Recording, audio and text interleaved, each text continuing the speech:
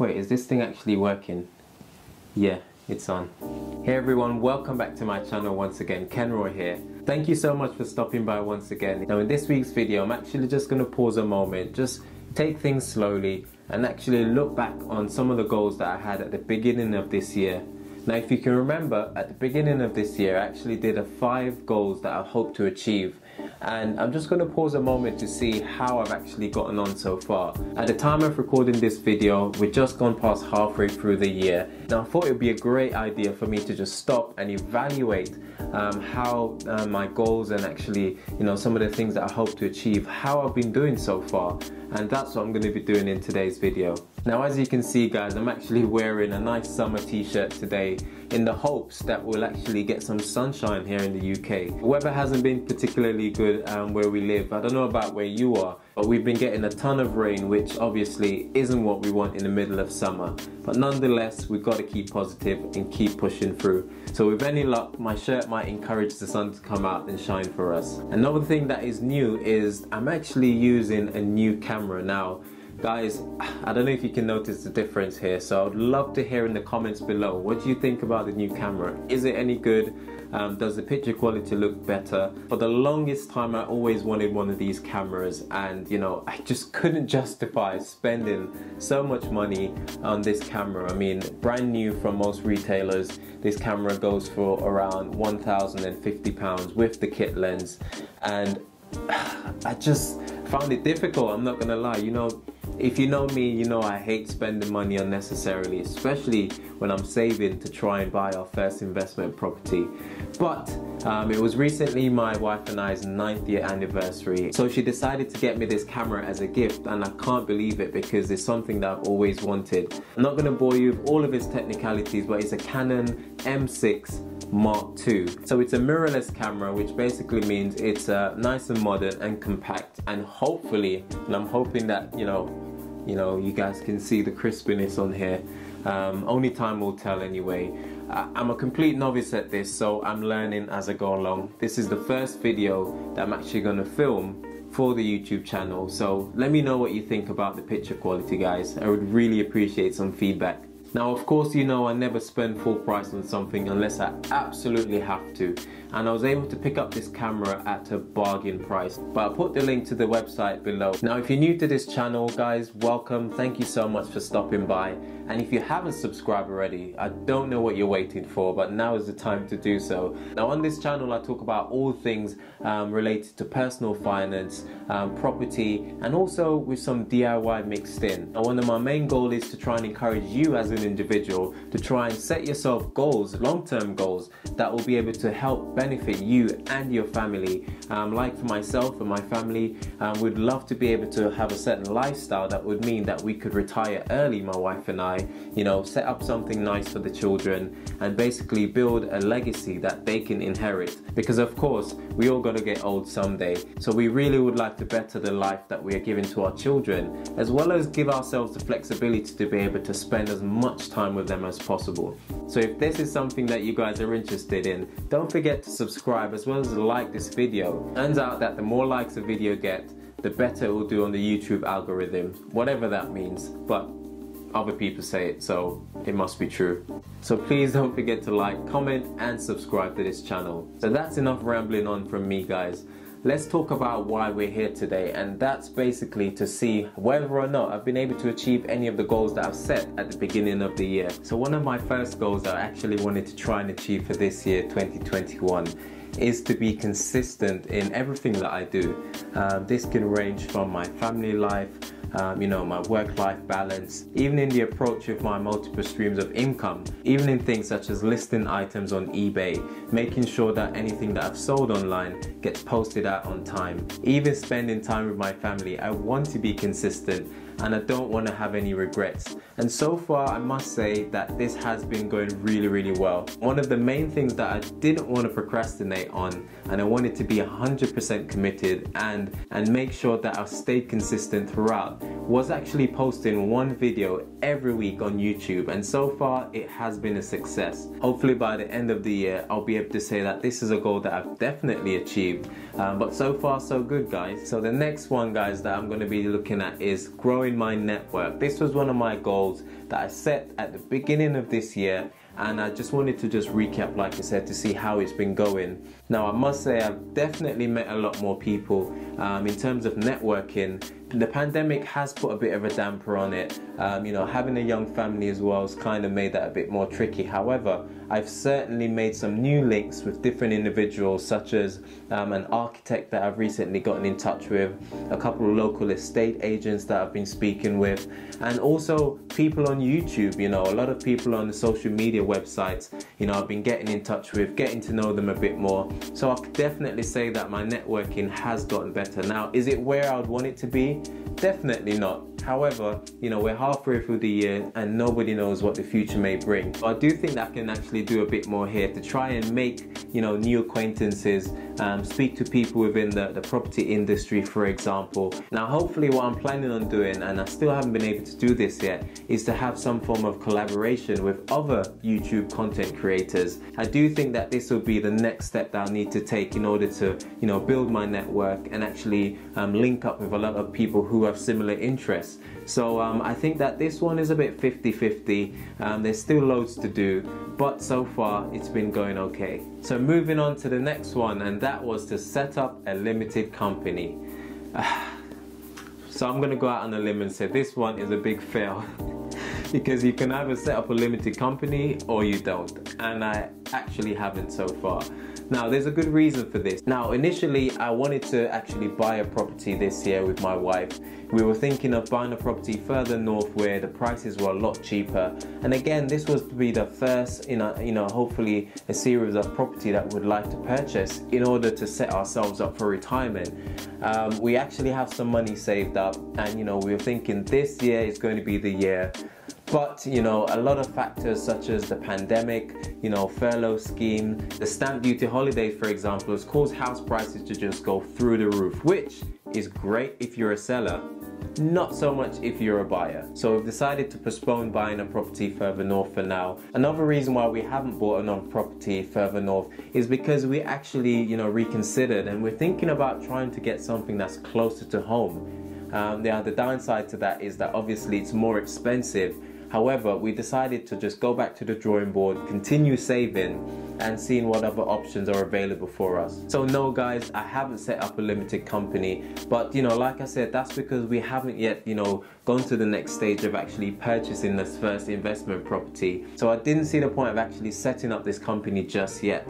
Um, because it will just be a bit of extra work and you know I'm not actually ready to to buy another investment property yet. So that's the reason why we haven't done so. However it's still something that we're going to be doing in the future hopefully. Um, but for now I think that this one is just going to have to go on pause. But that's okay. Things always change and you've got to be open and honest and you know be able to reevaluate your goals and you know move forward really. So this moves us nicely into the next goal which we are trying to achieve this year and that is to secure enough funds to buy our property. So I'm not sure if I should actually say that this one is a bit 50-50 or it's a straight fail because obviously um, you know we decided not to buy the property further north and realistically we would have been able to do so with the amount of money we've got saved up. However since we decided not to and we're actually thinking about changing the area to which we're going to invest, I'm not too sure of whether or not we've actually achieved this goal so far. We were thinking in places such as Nottingham or Liverpool and so on. We live in the West Midlands, so it wouldn't be too far but we've decided to reconsider. So arguably we haven't got enough money at the moment to buy a property where we live. So I suppose that's still ongoing and we're still saving. Now we haven't been able to save as much as we would like because uh, my wife has been on maternity leave for the past year and a bit. Don't worry guys, I'm sending her back to work so we can get back on track. Um, so, but in all seriousness, she's been off so she can have some extra time with the family because I do think it's very important that in that first year that mom is around with baby for as long as possible. Um, so we made that conscious decision um, just as we did for my first daughter, for my wife to be off work for a whole year, which obviously has impacted how much we've been able to save but, you know, these are things that you have to think about when you've got a family, and I've got no regrets over that. So we're still saving, and hopefully we'll get back on track and try and raise as much funds as possible um, so that we can make our dream a reality. The next one I can definitely say um, is a fail. I wanted to go out there and view as many properties as possible. I was going to get in the car and drive up north for the weekend, for example. Any days off that I had, I was going to be up there looking for bargain properties, you know, making some connections with estate agents, deal sources, and people who are in that region to try and find a nice fixer upper below market value BMV. Once I then bought that property, I'll then renovate it in the hopes of renting it out, uh, you know, and have our first buy to let properties. But because of the pandemic and the fact that we've changed um, investment areas, you know, I haven't actually gone out to look at properties to buy.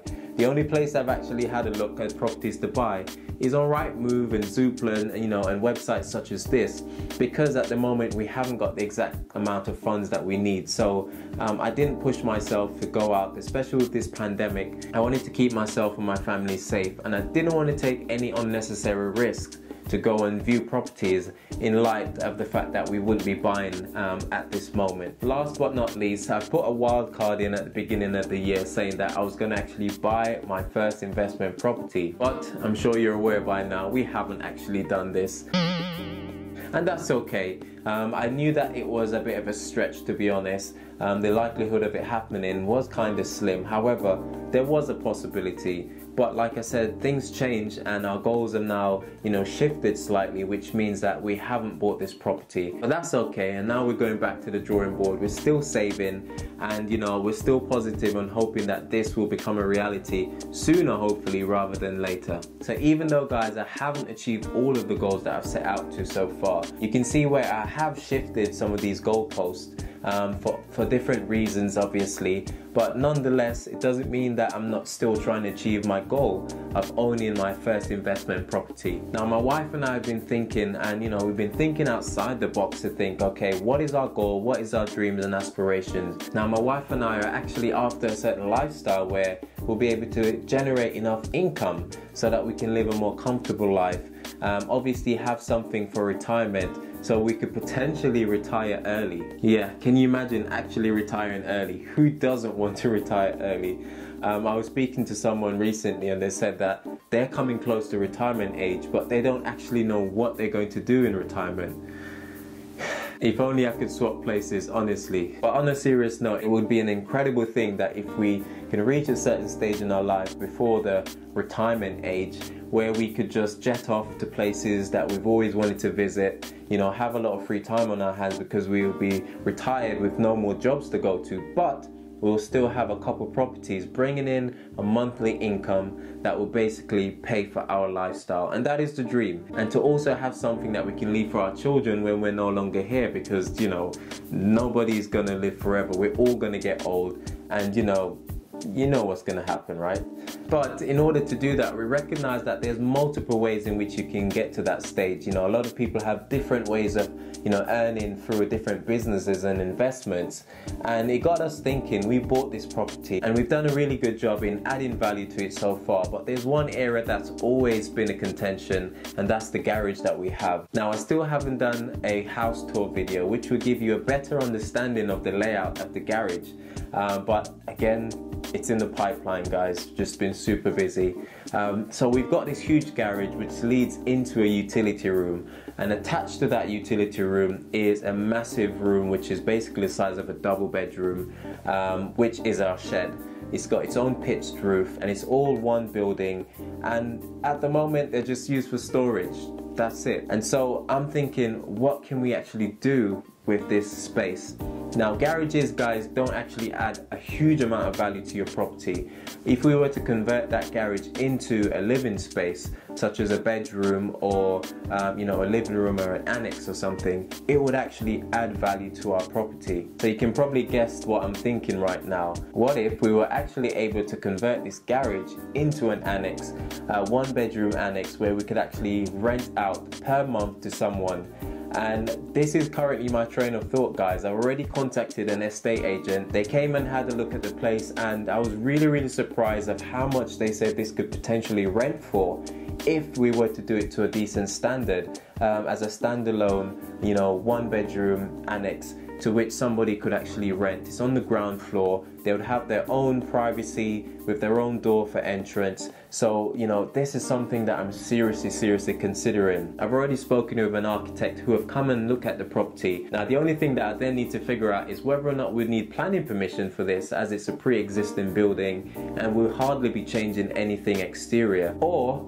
I'm really praying about this one honestly this would be absolutely brilliant if we didn't have to go down the planning permission route and we could just use what they call permitted development that would be absolutely brilliant. Now, like I said, it's still early days and we're still looking at the figures, but the way I see it, if we invest this money into this property after around three to four years, we should be able to recoup all the money that we invested in it. So if you made it this far guys and you haven't subscribed, I have no idea what you're doing. Please don't forget to subscribe to this channel as well as hit that thumbs up guys. Apparently this does wonders for the YouTube algorithm, whatever that means, and it actually helps this video to be seen by more people and hopefully this information will be beneficial to you and others. So I'm going to leave the video here for today guys but there's a couple of things that I'd love to get some feedback on. The first thing I'd like to know is what do you think about the new camera? I'd love to know how the picture quality from this new camera is guys. Um, I've invested a lot in it so I'm hoping that it will be better than just using my phone because as much as I enjoyed using my phone it constantly overheated and there was all sorts of issues with it so um, I'm glad I was able to upgrade so let me know what you think about the new camera and secondly guys I'd love to know if you've actually done a similar project like this where you converted a garage into an annex. How did you find it? Or perhaps you're actually thinking about converting your garage into an annex. I'd love to hear your thoughts down below. I've tried searching on YouTube for content around turning your garage into an annex um, you know, in order to rent it out for an income. But so far, I haven't been able to find much on there. So if you've had any experience, please post in the comment down below. As always, guys, thank you so much for joining me on my channel once again. Thank you for all your support, guys. And as always, this is Kenroy saying, I'll see you when you see me. Take care.